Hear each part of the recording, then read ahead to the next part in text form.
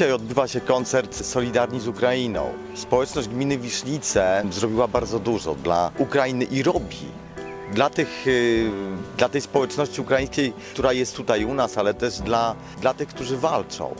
I chcielibyśmy również podziękować, zwrócić na to uwagę, na pewno, bo, bo y, społeczność robi bardzo dużo, ale i podziękować. To jest też istotne, że, że ta wdzięczność płynie również z Ukrainy.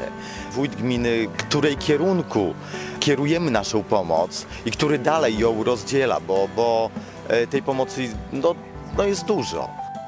Pierwszy raz, jak zadzwonił do mnie po pierwszym transporcie humanitarnym, rozpłakał się to też chcę, żeby mieszkańcy o tym wiedzieli, że być może tego nie słyszą, ale ta wdzięczność płynie z głębi serca. Ja rozmawiałem też z żołnierzami, którzy są, którzy walczą na froncie i oni też podkreślają tą wdzięczność, to co my robimy, to, że przyjmujemy tutaj mieszkańców Ukrainy yy, i że, że nimi się opiekujemy. To wdzięczność, ci żołnierze się też rozpłakali. Gmina Wisznice wysłała pięć transportów humanitarnych na Ukrainę, do gminy Zabrody. Przede wszystkim, ale część z tych rzeczy zostawała tam w Zabrodach, część jechała na przykład pomoc medyczna, której było dość dużo, jechała prosto na front do szpitali e, y, wojskowych. Również e, to, co robiliśmy, to w tych pierwszych dniach wojny przynajmniej pięć razy nasi strażacy, których aktywność trzeba też podkreślić, byli z kanapkami na granicy, z kanapkami lub takimi pakietami, w których była woda, był sok, kanapka, e, owoc, ponieważ ci ludzie, nawet ci, którzy po kilku dniach tutaj do nas przyjeżdżali, mówili, że oni stoją na granicy po kilka dni. Więc oni byli głodni, przemarznięci, nieumyci, oni nie spali po cztery dni i taka pierwsza pomoc była im bardzo potrzebna.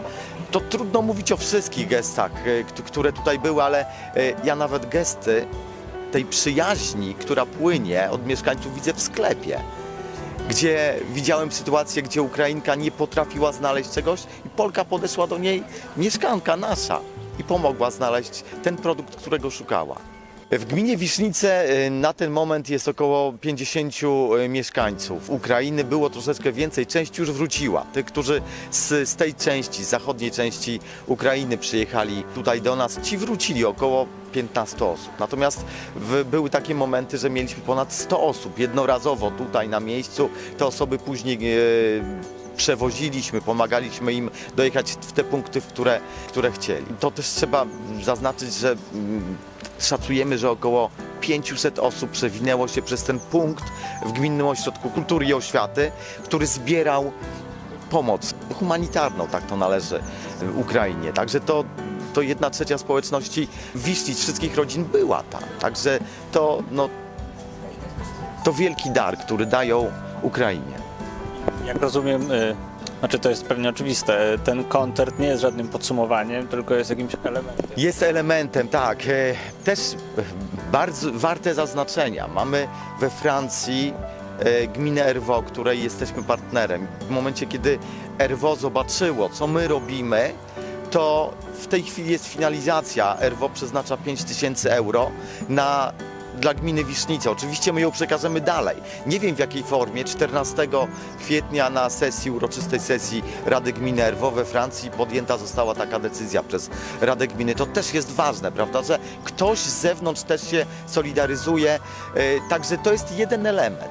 My będziemy pomagali e, ciągle do, do momentu, kiedy Ukraińcy będą u nas, a myślę, że niektórzy zostaną na zawsze.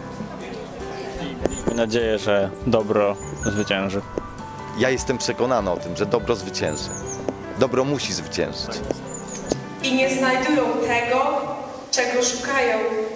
A tymczasem to, czego szukają, może być ukryte w jednej róży.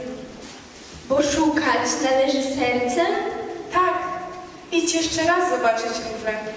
Zrozumiesz wtedy, że Twoja róża jest jedyna na świecie. Twoja róża ma dla Ciebie tak wielkie znaczenie, ponieważ poświęciłeś jej wiele czasu.